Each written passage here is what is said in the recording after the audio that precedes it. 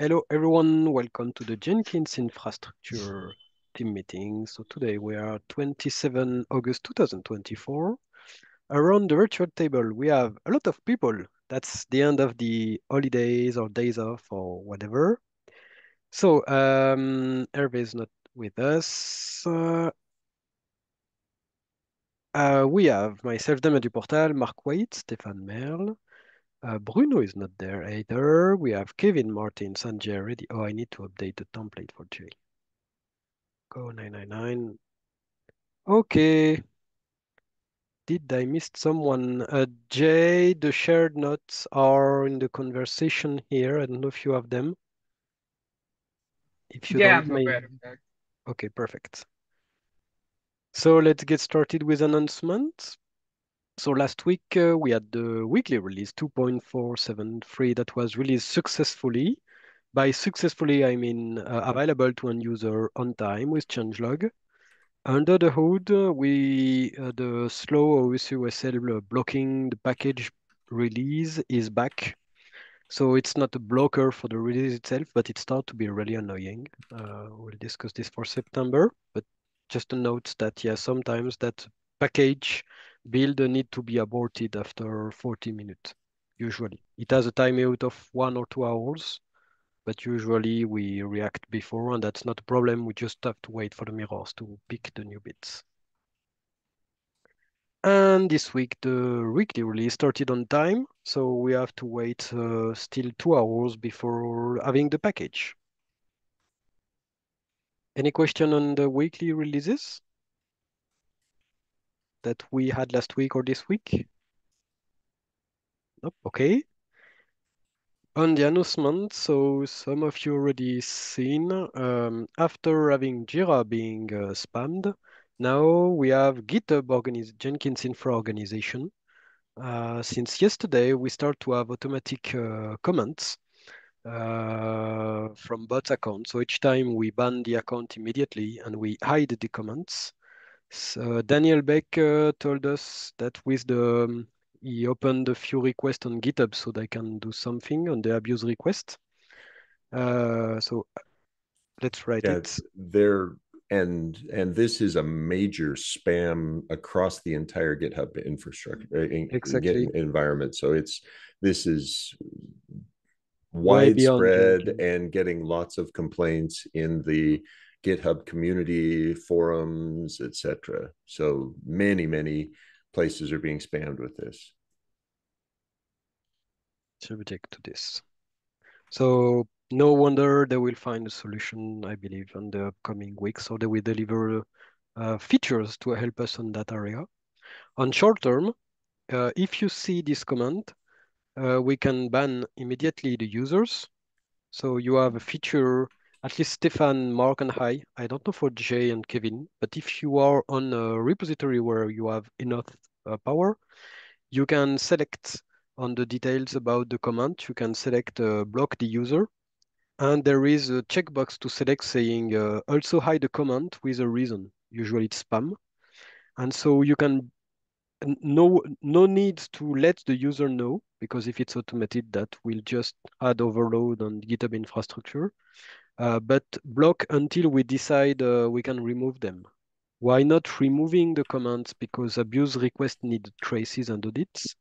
And also because if these accounts are uh, le usually legit accounts that have been uh, uh, hacked, removing everything could be a problem because maybe we want to unblock them if they can prove they are legit user taking over again the account from the hack. We still don't know. So we should not delete things right now, just hide them. Uh, and also because the content of the commands are just links. It's not an attack where they upload data on the Jenkins infra repository that they could use somewhere else, such as a screenshot updates. That, that kind of attack would have justified to delete the commands in order to have a garbage collect of the attached files. That's not the case, so unless they change their attack vector, right now it's only text. So it's okay to just hide them. User and hide command. Any question?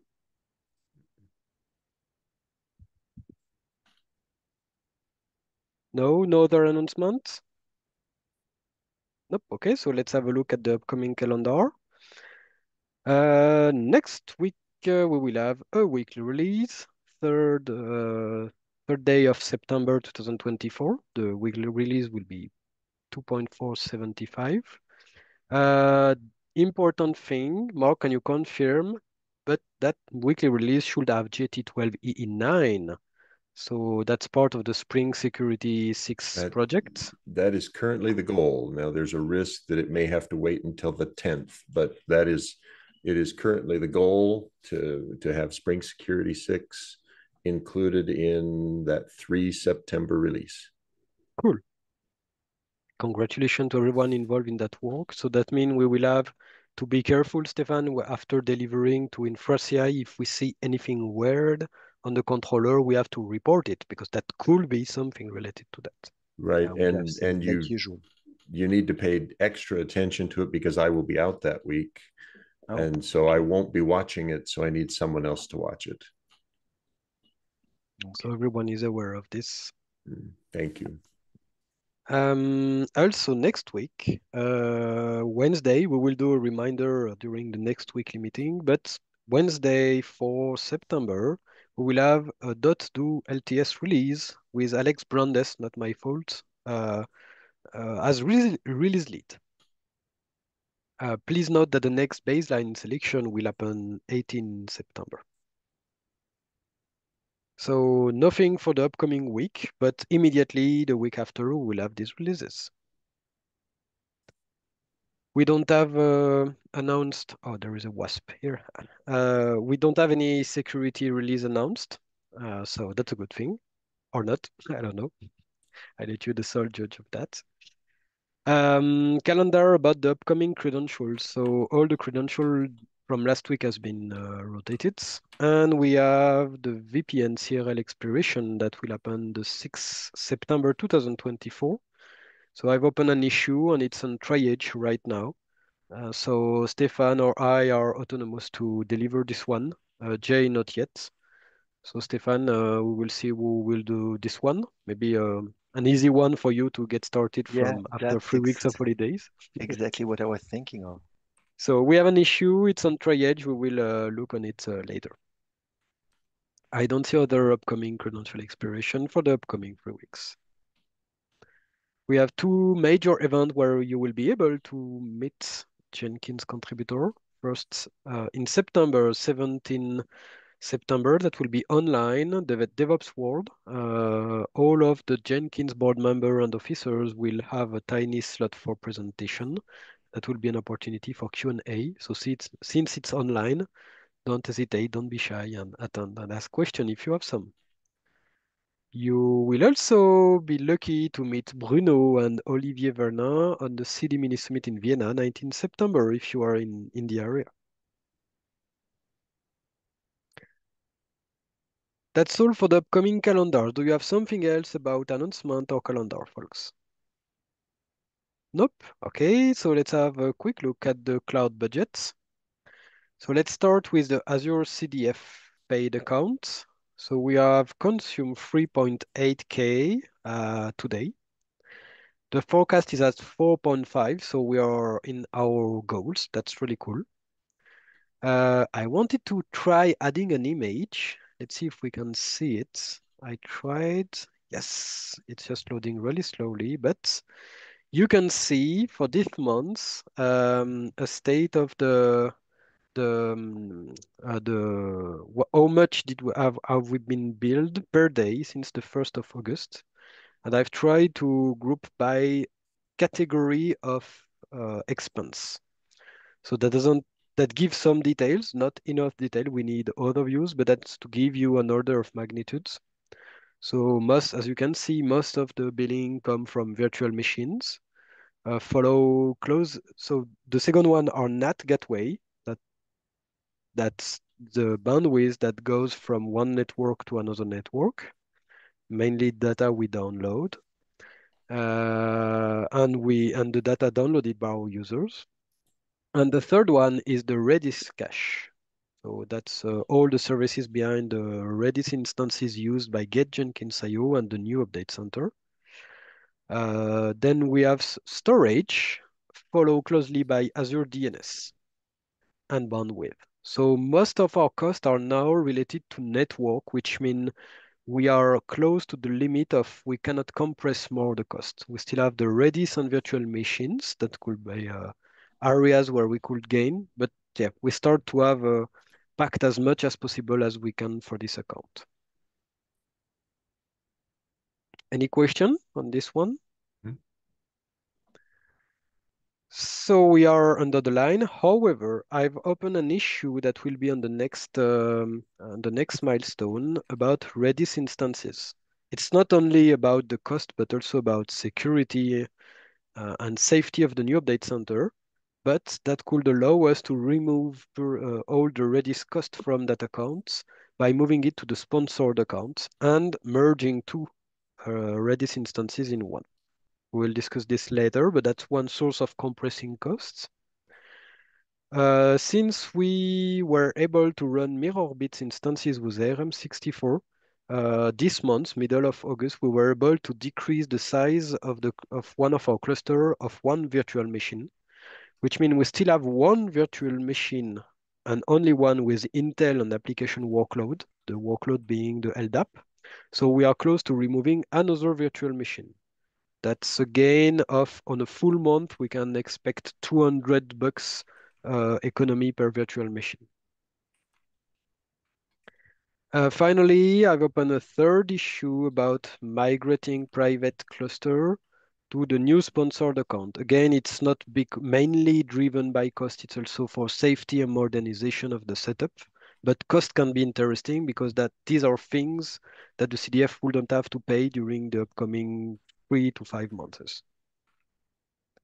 Again, triage, we'll discuss this later because it's a matter of priority. About Azure sponsorship account, so the account mainly used by CI Jenkins IO builds, we have consumed 8.4K. We have a forecast a bit below 10K like last month. So mainly spent on uh, BOM builds and uh, plugin and build related to the Spring Security project. So we can expect in September that cost to decrease a bit or not. If we move Redis and the private cluster, that might balance, but these are credits we need to consume before May 2025. So that's good for consuming. Any question about Azure? Okay, so in that case, next one will be DigitalOcean. So DigitalOcean, uh, we still have 16K. We have consumed 4K since the beginning of the year. Uh, this is valid until January 2025, so it's valid for the current year. Uh, we might lose that credits. That depend on our priority because if we don't consume it, we don't know if it will be renewed or not. Um, yeah, I want to discuss this next week if it's okay for everyone. How could we optimize our spend for the upcoming four months from September to December? Finally, on AWS, uh, I didn't have time to, to check the consumption, so I will do it after the meeting. The forecast was still at 6.5K though, uh, mainly bandwidth uh, from the update center. 95% mainly. We also have 60K credits valid until January 2025 that we could spend. So first, any question about these cloud budgets? No, no question from me. Congratulations on everyone keeping us under budget. And thanks to the Spring Security team and to Microsoft for donating to allow the Spring Security team to do what they needed to do in terms of test execution. That extra cost has has been a great benefit for us to be ready to ship Spring Security 6 at the end of October. Absolutely. That's really that's really cool. So next week I will come with a plan proposal and I might use an issue uh, about how could we move different element of the infrastructure to try using and, and spread the use of credits between AWS new accounts, DigitalOcean current account, and Azure sponsorship. Main challenge is that Azure sponsorship have, has almost 60 credits that we can use until May 2025. So we start to be on the area where these credits should be, um, uh, let's say, kept as much as possible in order to be efficient. And then we should start using data on the um, credit on DigitalOcean and AWS.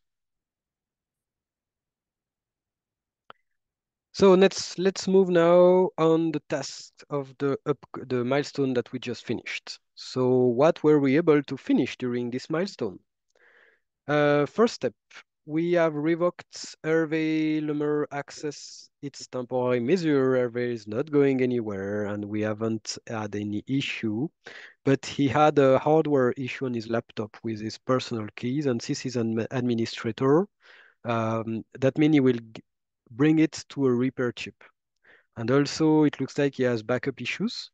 So that means we will have to rotate uh, GPG key, all of his VPN certificate, SSH key. So every element he has across the infrastructure, he still have access to some of his accounts. However, someone else that we don't know and we cannot trust by default will have access to his machine. Even though his machine should be encrypted, the exploit exists. So in order to be really sure, we just revoked all of his accesses and he will ask for accesses once he will have a repaired machine and he will have time to spend on the infrastructure. So better safe than sorry on that area.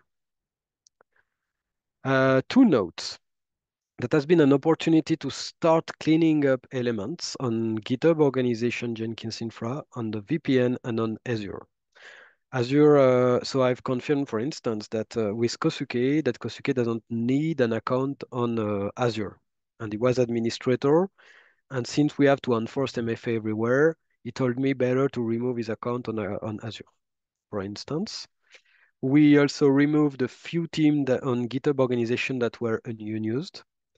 And we discovered that if you remove someone from an organization on GitHub, it looks like if that person is the either only owner, code owner of a team, or if you remove a team that has child children teams, then it will automatically remove everything.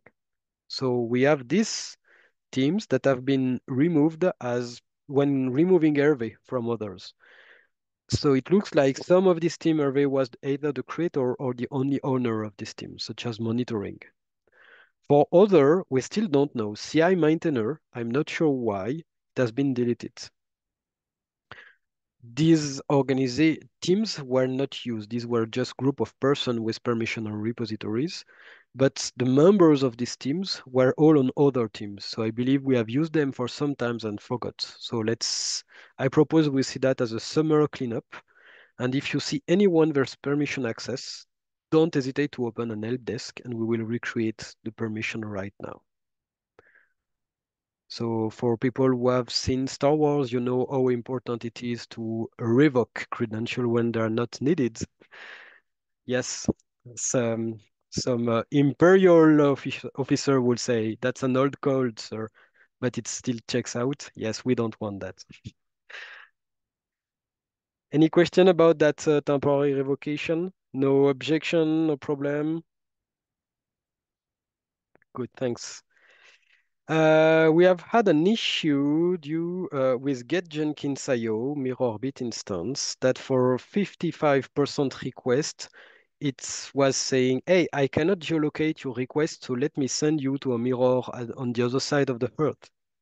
So the service was not broken down, but it was not really good in terms of network latency and distribution. The problem was Samba CIFS locks on a shared file system. I mean, it's 2002 again, folks. and even when using Microsoft Azure, we, we still have these problems on modern architectures.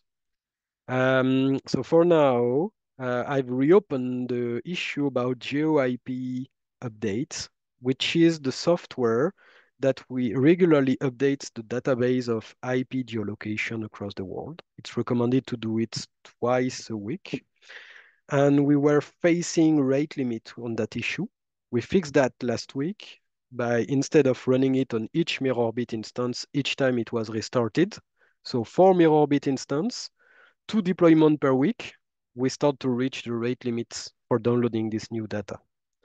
So now the data is on a centralized file system. it's a shared file system using Samba CIFS. So that's good. It helped MirrorBit to start without needing to wait for an update, decoupling.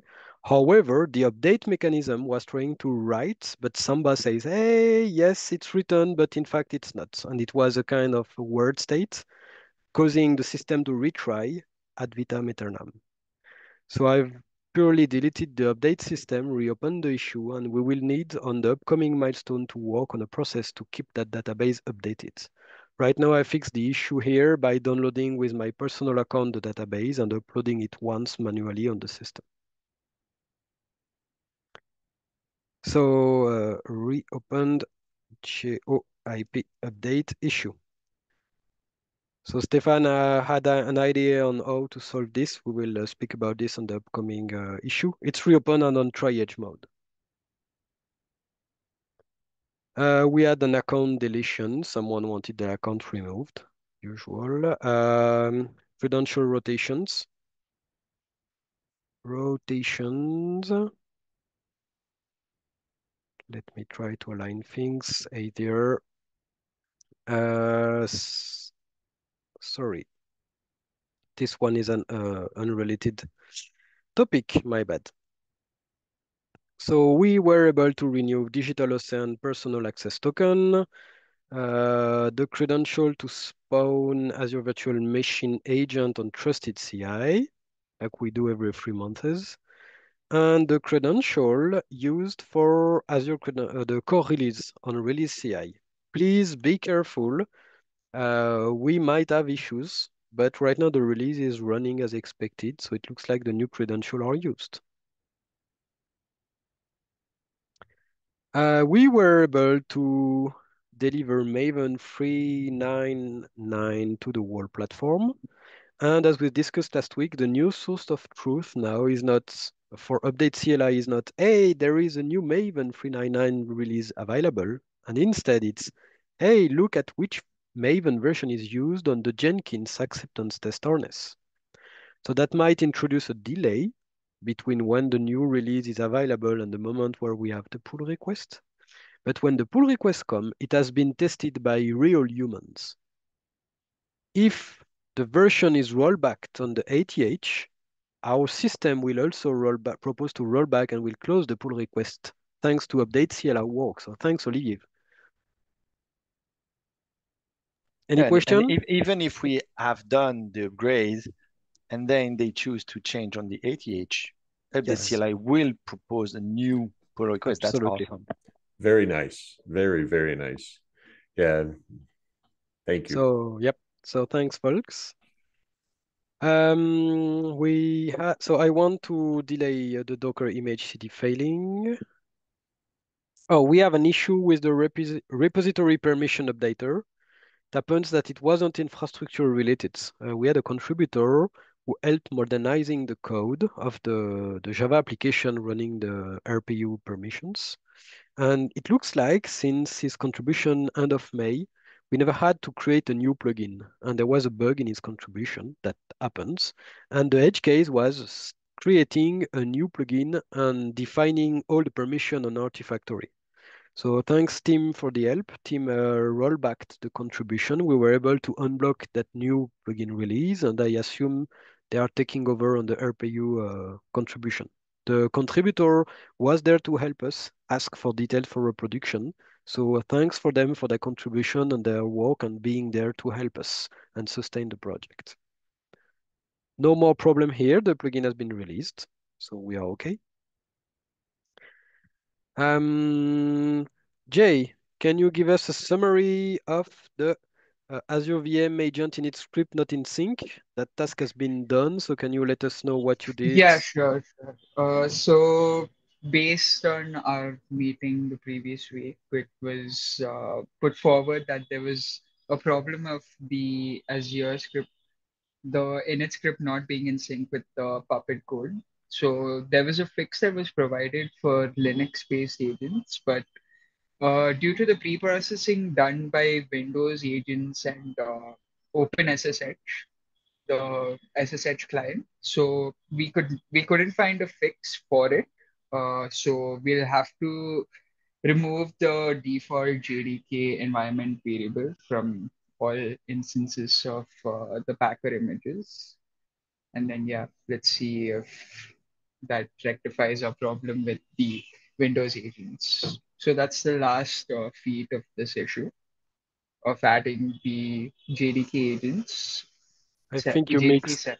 you mixed two issues at the same time. I'm sorry, Jay.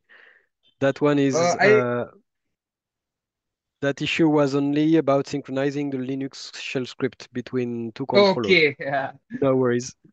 yeah, yeah. My bad, my bad. So No uh, it's done then for the Linux agents. This issue can be closed. Adding new VM JDKs. See uh, above, see below. Uh, thanks for the walk. So that was a tricky thing. Reminder for everyone doing Linux. That's the lesson we learn with this issue. If you change a file on slash etc something and you need to restart a service, don't forget to run systemctl daemon reload. There is a routine on systemd that regularly reload the config file in memory for systemd, but usually you prefer forcing it to run before starting or restarting the service. That's what happened with Datadog. We were adding, inserting the API key on the configuration file. And sometimes it was working if the routine was run between writing the file and starting the agent. And sometimes it wasn't. So we fixed two problems at once. We fixed the root cause here by adding a systemctl daemon reload because it was working on CI Jenkins IO. So Jay reused the same code. So thanks Jay for this contribution and fix. And the second thing was we used a subshell with parentheses on the shell scripts, which ensure that the init script continue working even if what is inside the subshell fails. That's different than running just instruction as it or using um, mustache uh, subshell. These are two different ways of using shell. That's advanced shell knowledge, but good exercise for us. Any question? Um, next issue, we were able to decrease the visibility of accounts Jenkins.io by removing index, Google indexing on one, uh, a whole wiki page. That was the third result when you search for Jenkins account. Now it's it's not there anymore. And second, we absolutely excluded accounts Jenkins.io from all the Google indexation. So any request Jenkins account, account Jenkins will send you to the proper documentation page instead of, hey, I should create an account on Jenkins.io for my own Jenkins system. So I hope it will have an impact with us having less support to do to people. Let's see. Thanks, Tim, from, from the help. I learned uh, how the uh, Google indexing console service, whatever, I don't know the name of that thing, how it work, because yeah, it's not as simple as adding a robots.txt file as I thought initially. Listen learned.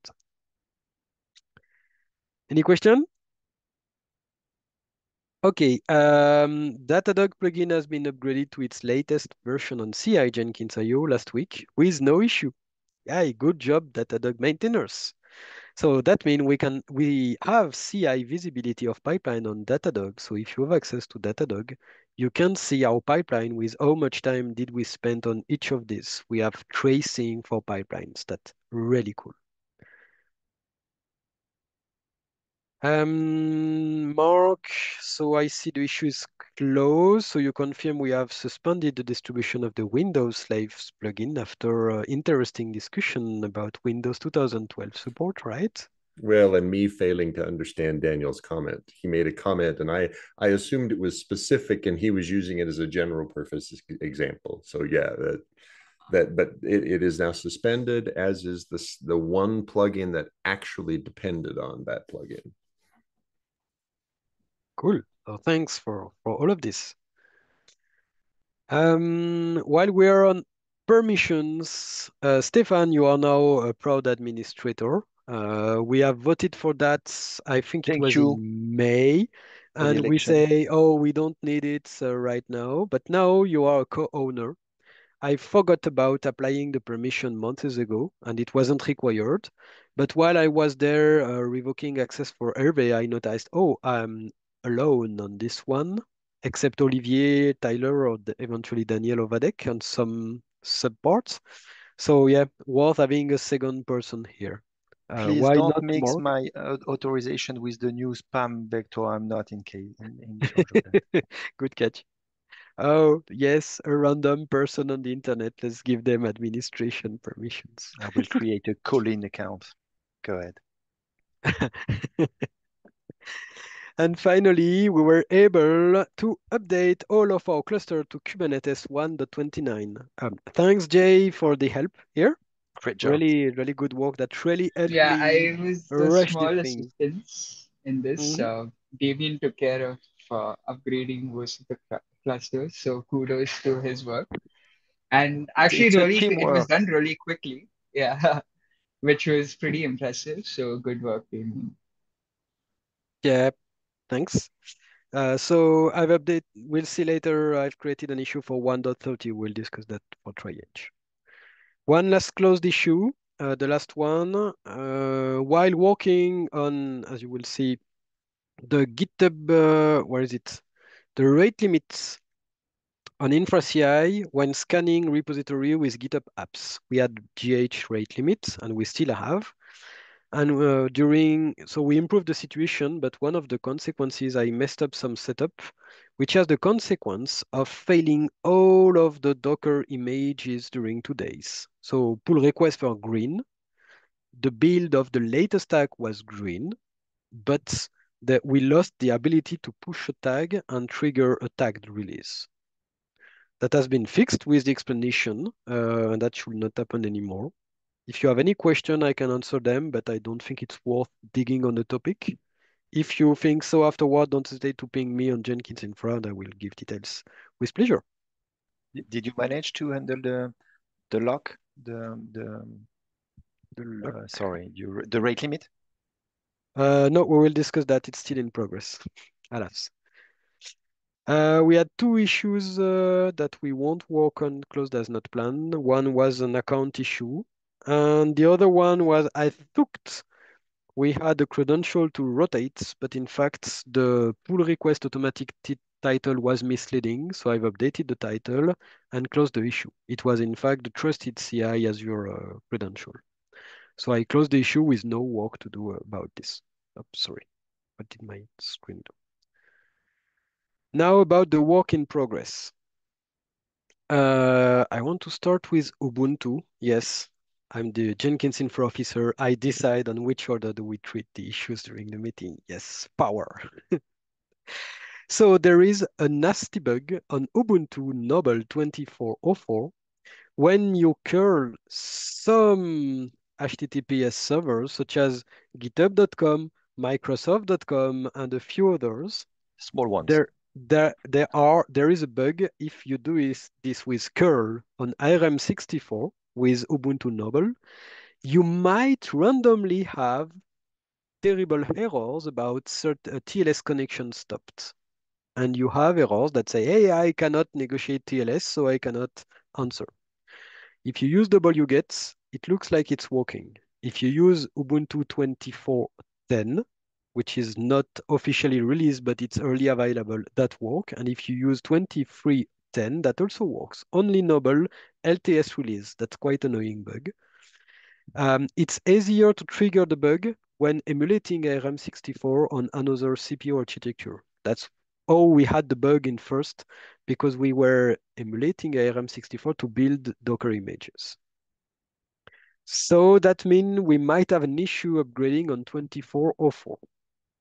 By the way, do we need to do it immediately? That's the real question. Uh, thanks, Stefan, for the, triggering again that question. I, Do we I, need I'm not to go? officer, but I would ask that. Yes, can cannot we wait for a few months? So why did we bother and why did we create the issue? Because our contributor worked on upgrading the Docker packaging image used for packaging Jenkins, and they proposed an upgrade to 2404. The main trigger of that particular update was related to some version of the packages.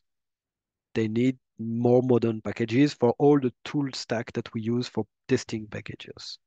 So that one was needed. So we triggered the Ubuntu 24.04 campaign. Now we are using almost everywhere Ubuntu 22.04. We have five-year LTS, so that means 24.04 is not needed immediately. We have three years in front of us. We have we have at least Puppet machine with Ubuntu 20.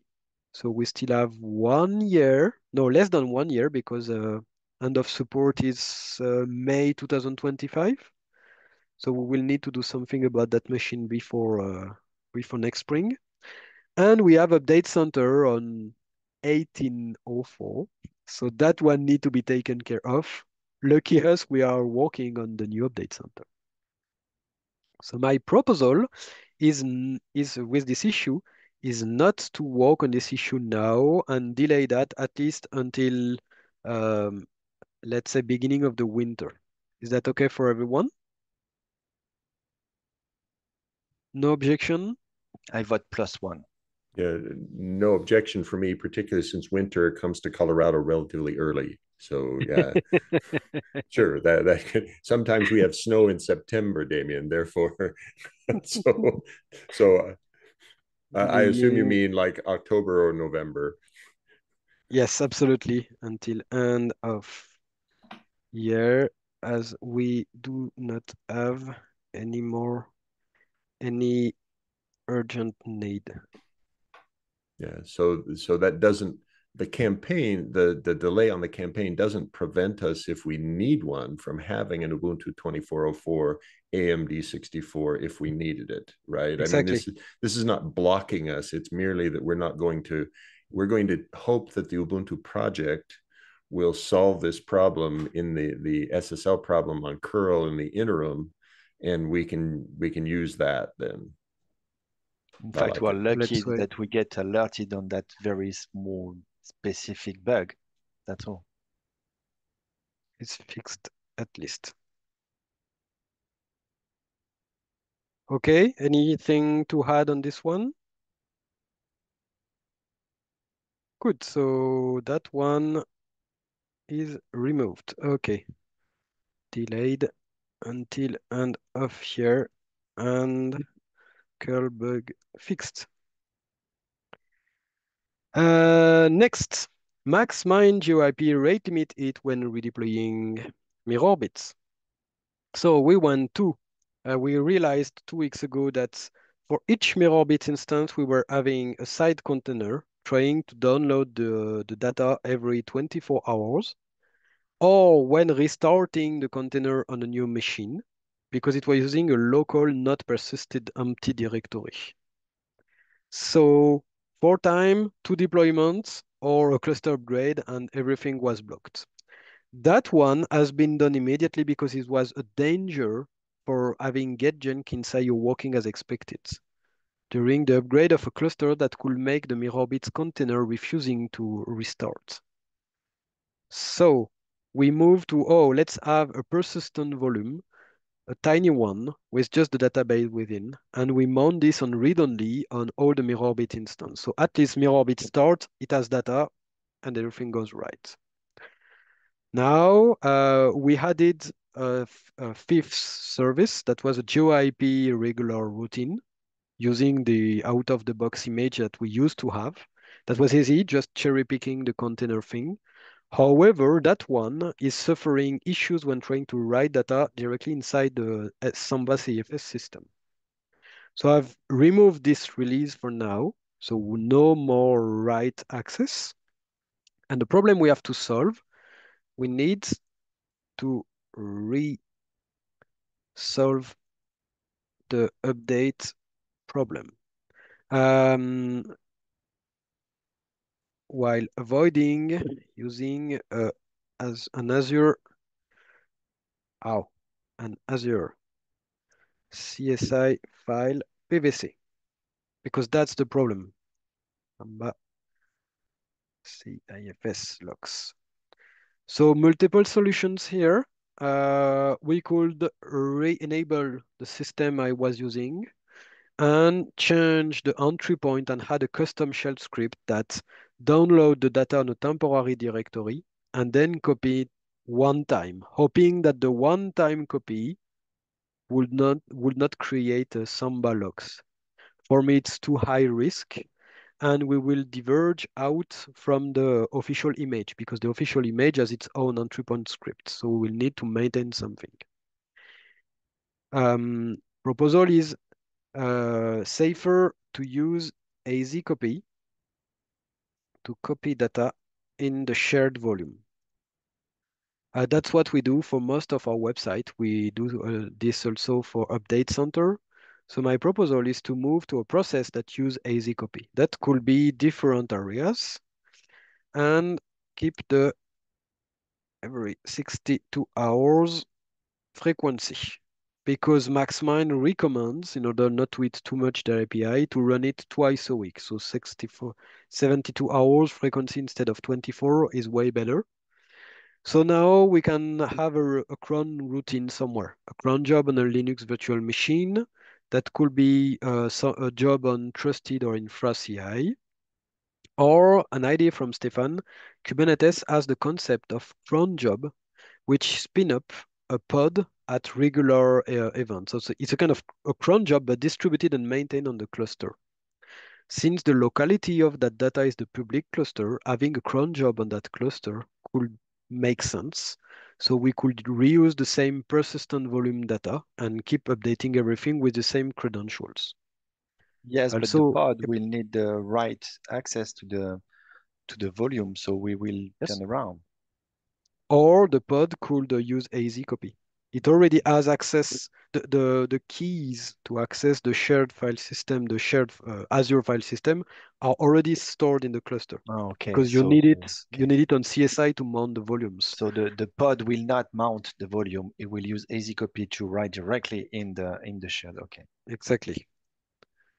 So since Stefan is working on his uh, Kubernetes skills, that could be a great exercise, I think. Are you okay and up to the Of challenge, course, Stefan? of course, I'm always up to the challenge. On pod or Do, on do I need to wear a hat or something? No. Okay, so I will, uh, we can sync afterwards, but the idea, Stefan, is first, you might need to roll back. Uh, no, no, no, sorry. No, you don't need to roll back anything. You might need to build a custom Docker image though. Because you will need AZ copy command line. And the GeoIP update system. That could be Packer image, that could be something else. You will have to decide.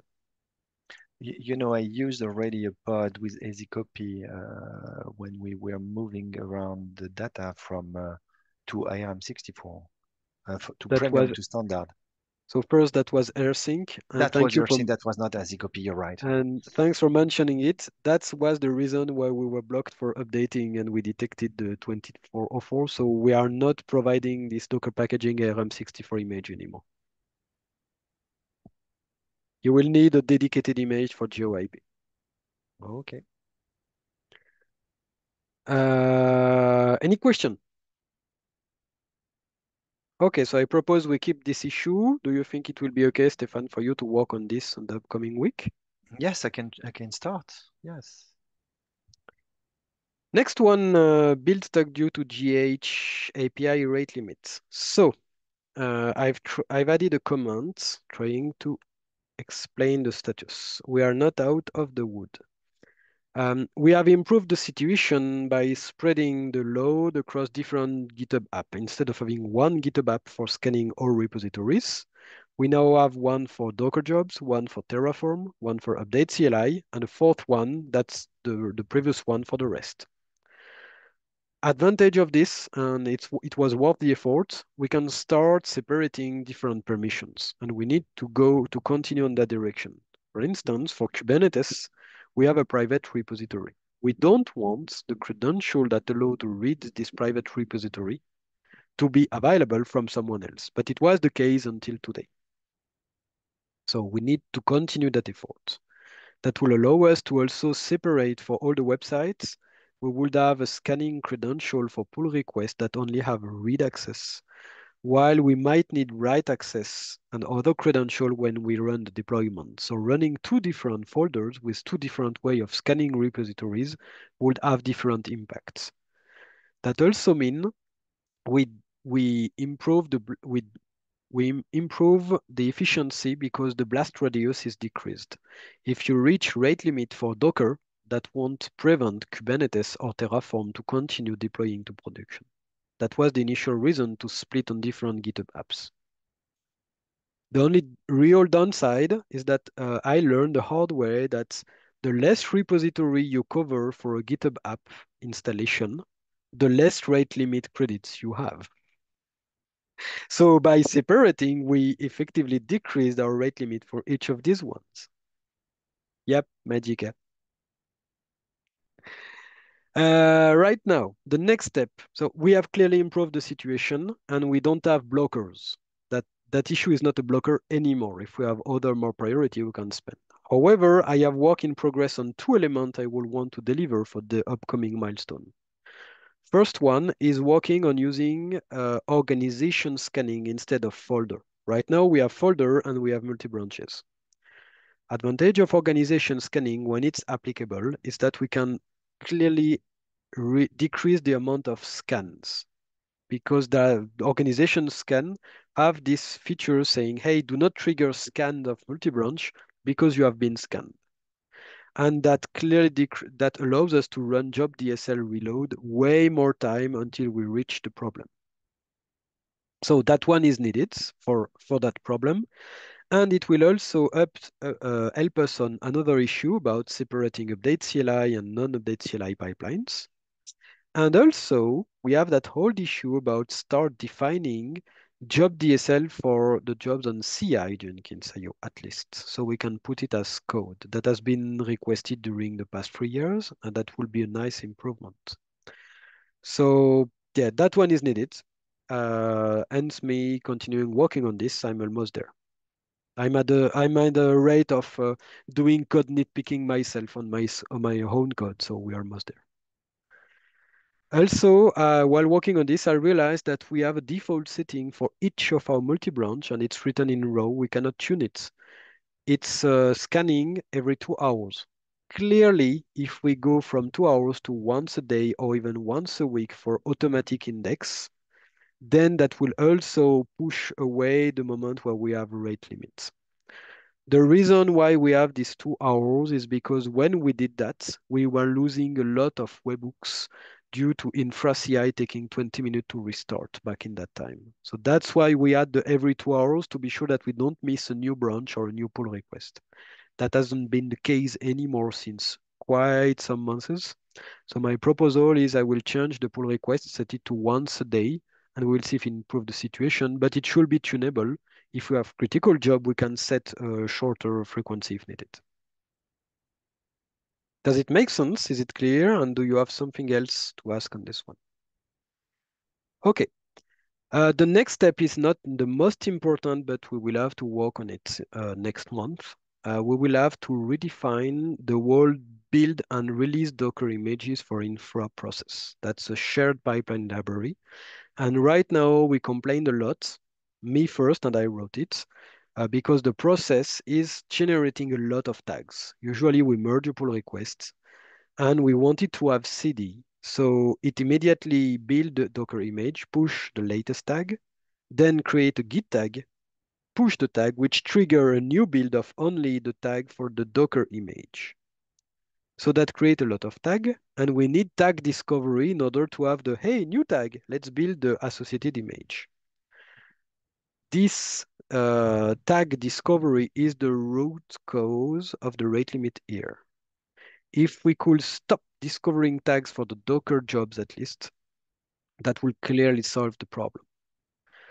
But that means we need to have discussion about, hey, that means we need to keep the logs on the master branch builds especially because it will it will say, oh, let's determine the, the new version.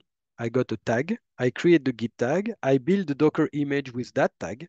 We push everything and that's okay. Less build, less discovery, but we need to keep these logs at least a certain time. Which leads me to a three years ago when we did that with Olivier, we wanted to keep track of everything. We didn't thought about we will reach 300 tags per repository. So 300 tags, we have 15 repositories. I let you count. That's how we reach the rate limit. Each tag generate one request, and we have thousands of requests due to that. Should we keep all of this? That's the question I want to raise now. I don't have an answer, but we must have this, that discussion. How do we decide to clean up all Docker images we don't use anymore and the associated tags? Does it make sense? Do you want to add something? If not, I let you think about that, about how much time is good for you before we start deleting appliances of uh, on Jenkins Infra. Do we need to delete things older than one year, six months, three months, one hour, 10 years? I don't know. Maybe we need to, we need to provide some statistical. If we choose one year, that will erase that much and that will let that much. If we choose six months, that Mhm. will do that. That Yep. we need we need Good points. we need data to Yep. choose. With data that will help us choose. Absolutely. I'm Yeah. sorry because that's work, but I mean, Yeah, no, but, but that's part. It's not priority, uh, but I want us to work on this on September. That will increase our, our efficiency as a team, clearly. Because Yes. uh, waiting 10, 10 to 15 minutes instead of waiting two minutes, that's clearly changed the way we do operations. So um, I keep this one at least for the work in progress, and we will restate uh, that last part if we need to spend some time during next team meeting. Now, I'm not seeing your screen, Damien. Was that intentional that It should be at I see I see the HackMD notes. Oh, you do? Mhm. Okay, then I must have changed my configuration. No problem. I'm Sorry for the stopping distraction. screen share. No problem. and it, now we don't, and now it's back. And it's Ah. back. Okay, great. All right. Um, GSOC. Now, so we have that issue on uh, uh, managed by Hervé and Chris about the new stats. So Hervé helped them fix an issue, and it was so it was really efficient. It has been confirmed working. So thanks Hervé for the work. I keep this one open as a wrapper. We have a new issue on Triage about officially switching to the new stats Jenkins IO.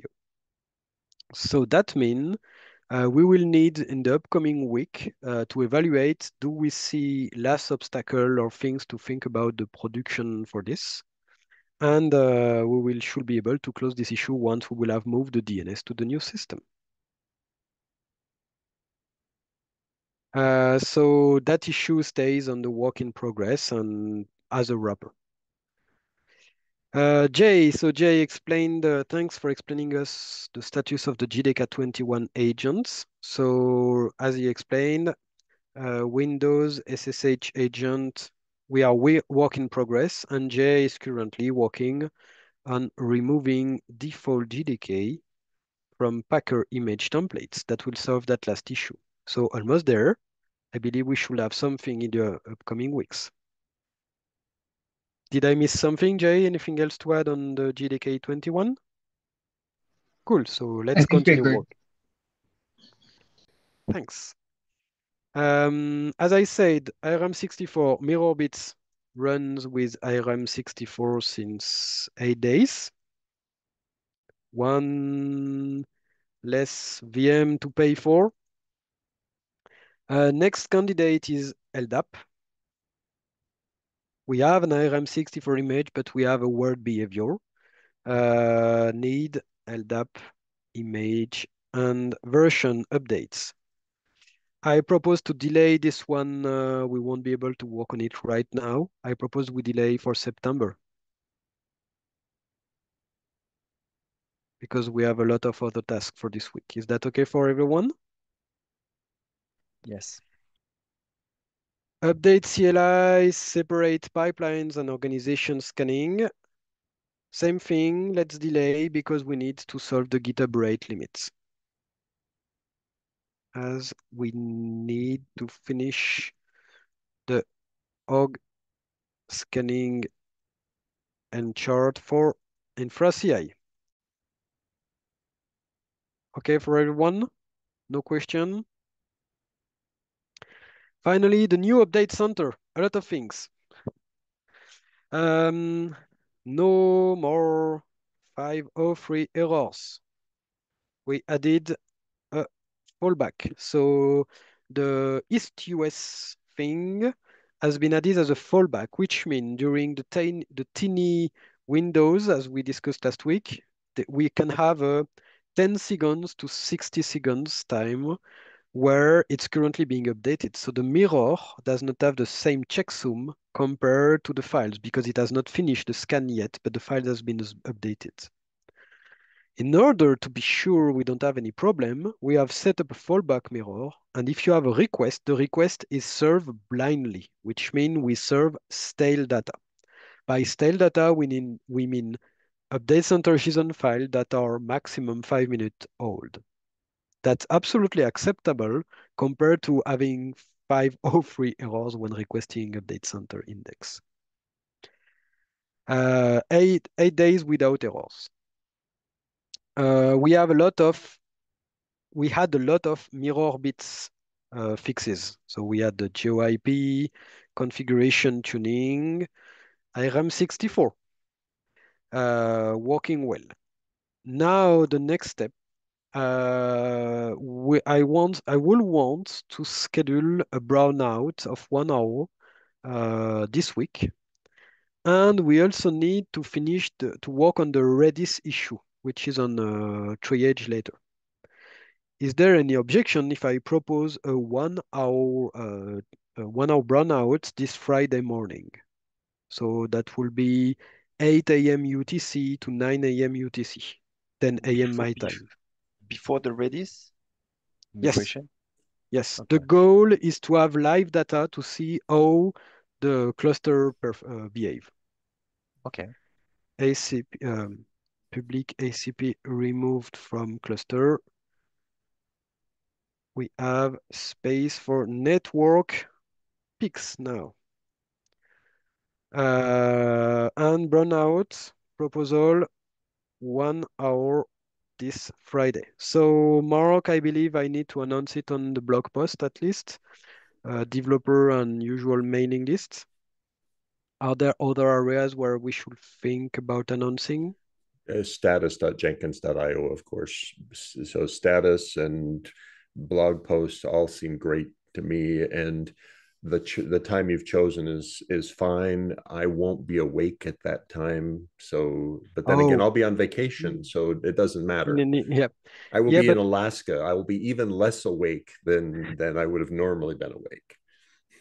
I I was hesitating between morning and afternoon. I think uh, one hour with only European and Asia should be enough without right. uh, US, mm-hmm. uh, and we'll see the behavior. Great. Is that okay for everyone? Yeah.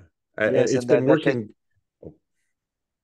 No, you started. Go ahead. It's been working great for me. I've I've used the DNS change to make sure that all of my use and I see it going to the places I expected and doing the things I expected. So I'm I'm quite pleased. We agree that 8 UTC, it's 9 Paris time. It's 10 we have 10 Paris time. So that means that uh, uh, yes, it's better to do that way because we got the whole day to to look at the stats and the and the logs. So exactly. And then on Friday. The the plan is uh, so a first first brownout of one hour. Then uh, idea is to have a second runout of one hour with US next week. Then one full day runout. The one full day will also help us to see how, how does it behave on long term, because one hour should be okay, but not a full day. And that will also give us be a billing indication. Once the billing on AWS will be aggregated, we will see a full day absolute decrease on the AWS cloud bill. And, and how do you um, want to handle the Redis migration and performance and... improvement? We change Redis. We wait five minutes and it's fixed. I'm I'm serious. Redis here is a cache and a database at the same time. We have the update center that scan the two mirrors every five minutes. So worst case, let's say we It's how full operation we accidentally delete off the data in Redis and we, we have to start a brand new instance. You wait five minutes. And it's done. And it's done. Eventually, you need to run the two MirrorBits add command to add back the mirrors, so the scan will scan both mirrors. That's the only thing. The interesting part, since we have added the fallback, that means even if you remove all Redis about that will fall data, back on the east one. it will fall back, so we will still have something serving request in the end. Really nice. Because you don't need it to be on Redis, and it's on configuration state, not on Redis state. So we can do whatever method we want, migrating or not the data. And uh, I'm interested in trying the worst case scenario. Let's break Update Center now, since we will do this out of the brownouts, and we see how it behave. Agreed. Any question? Nope. Okay. So we have a few issue on the triage. Uh, the first one is uh, credential expiry. So new uh, add to milestone. That one we have to work on uh, the CRL expire. Um, OSS Planet went back to me and said, hey, we have added rsync at HTTPS, so we should be able to add uh, yet another download mirror for Get Jenkins IO. Good news, thanks to them. Uh, so I'm adding that to the milestone. That should be a quick one. Um, the so we have the issue about replacing stats Jenkins. Uh, so that one I had to milestone.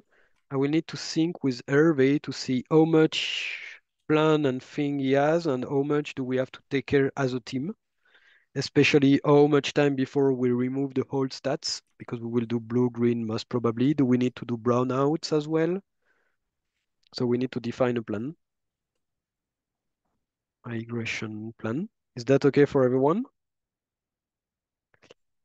Uh, get Jenkins IO, the infamous issue about cost and Redis instance. So problem number one, both of our Redis instances used by get and updates, they are public facing. We don't have any kind of IP block. We are only protected by Redis password, which is a big inconvenience that we need to solve. Second thing, Redis supports different databases. There are no problem technically speaking, if we use the same Redis instance with two different databases for the two services. Challenge number one, we need to sum up the accesses to the database from both services and update Jenkins IO. We don't know yet the impact on Redis, so we need to have some margin. And second challenge, we cannot have different accounts with different passwords you have only one password and every application can access both databases. So if we messed up the databases, we can accidentally delete data. So I've put metrics, details, recommendation by Azure. And the last step is that uh, Tim pointed at why don't we use the sponsored subscription so we won't have to pay to Redis until we have exhausted the subscription that will avoid trying to optimize as much as possible and we can continue using premium Redis instance. I think that's a good idea that will let us, with the current rates of the subscription account, we can expect having Redis working for four to six months. So if it's okay for everyone, I propose we go that way. We create the new instance on the new subscription. We make it available on the public cluster and we migrate update Jenkins IO. Once it's done, then we discuss how do we do for get Jenkins IO. Any question, objection if we add this to the milestone? Stéphane, if it's okay for you, I propose we pair on this one, but I will want you leading this one that will be adding new resources on Azure, and then we can sync. Is that okay for you? Mm, that will be okay, of course, yes. Um, we had a new issue about Gradle plugin uses proprietary dependency, quite the annoying one for everyone here. Uh, thanks, Daniel, for taking care of this one. Uh, Mark, is that okay if we keep this one unassigned, but in the milestones, we will have to follow up. We had an answer by Oleg. Um, Daniel says we don't need to remove access immediately but we need to let time to Gradle to find a solution and see. Um, and yes, so I believe the board might want to discuss this. I don't know if it's worth escalating to the board or just waiting. Yeah, But- I think Daniel's, I'll certainly send a message to the board, but Daniel's response, hey, give them two weeks to do investigation to see if they can find a solution seems very reasonable to me. This is this is not something where we need to act like it's an emergency. It's just, yeah, they've he's detected a problem and they're actively working to investigate the problem and see if they can find a way to, to resolve it. Thanks. Um, okay, so that one was GSOC. So GSOC, uh, we have two requests about hosting repositories, uh, code repositories from the GSOC. One looks good, so I would, the second I'm not sure. First step, plugin modernizer tool. Uh, Tim resumed, and I agree with Tim. Uh, that GSOC project code will generate tooling that will be used by the Jenkins infra to provide to the contributors. So that makes sense to have it under the GitHub organization Jenkins infra. It's not directly consumed by Jenkins user. As such, we don't need it to have under Jenkins CI GitHub organization. Any objection on this one? So I will take care of this one. Um, same for another project, and I have mixed feeling about this second one. Uh, it's about an L, uh, the project enhancing existing LLM model with domain-specific Jenkins knowledge. The question here I'm not sure is, is that tool being consumed by Jenkins infra for Jenkins contributor or directly by Jenkins user? I'm not really sure, so I need help to decide this. So this is the the the modernizer. No, no, no. It's a second GSOC project. It's the LLM model domain specific one. Got it. Okay. So if it's okay, I thought Bruno, uh, so since Bruno cannot be there today, I propose I will restate the the reasoning that the team explained on the other issue, and we will contact Bruno to help us, Bruno and Chris, so they can help us decide. Is that okay for everyone? Um, and finally, we have that request, uh, so about the GSOC project related to the repository permission updater. So I have details. I asked for more detail. They will want to use Terraform in order to keep track of the permission of which Jenkins contributor has which permission on which Jenkins project. Right now, it's using a bunch of YAML on the RPU repository, and we have a script regularly running. These scripts, even on the modernization project on GSOC, they rely on the previous version not failing or, or because it has a, a previous known state, right? And the team started to draft, uh, let's say, the scope of, hey, let's use Terraform because Terraform has resources to define GitHub permission and team membership. So that means we might want to add that as a Terraform project. We could benefit from what we already did for the infra. However, the accesses will be a bit different, particularly the state part. We need a private and shared state as per Tim answer, but we don't need them to be on the Terraform private state like the infrastructure. It's not the same critical level. It's still critical because if you have access to the state and can write it, then you can change the permission effectively. So it still have to be on different areas. So we will have to find a proper balance on that area, and I will add it on the milestone and discuss it with Tim. Stéphane, I might need your help. We might have to work on Terraform modules in order to create resources on the Azure project. So I believe after the Azure task you are, I've asked you to run, we I will prepare this with Tim, and we might then hand over to you for creating the resources on Terraform. Don't forget that my knowledge and module on Terraform are quite low. Yes, that's the reason, because that's a way to learn it the, the good and efficient way. Okay. Finally, two issues. I propose to delay the first one of uh, to September. That will be start a new AKS cluster on the sponsored account. uh, for private cluster in order to make it way more modern, uh, specifically the network and access configuration. And we won't pay infra CI or release CI uh, virtual machine until we run out of credits. My proposal, let's delay until mid-September, so more than two weeks, when we'll see a plan for credits. AWS, DO, Azure. Because if we had too much on the credits, we are with 10K per month on that account, we will run out of credits in January. And we have credits until May. So depending on how we move and decide to move things, that might be a good idea or not. Is that okay for everyone?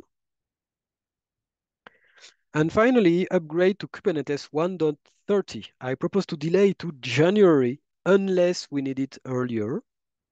You can challenge this thing. It's because uh, we 1.29 is deprecated on Amazon and Azure in March and DigitalOcean end of February. So that means we should be able to do it on January. However, we might need to do it earlier based on uh, the Kubernetes plugin updates and other work that we could have. So at least not before uh, September, October. Is that okay? Delay at least until October. Anything else? Okay, I'm just checking the issues. If we don't have one, sorry, it was a bit long, even if I prepared. I don't see new issues. Do you have something else to add or should we jump on updating milestones? Good for everyone? Okay, so I'm stopping screen share. See you next week. Bye-bye. Thank you for all that.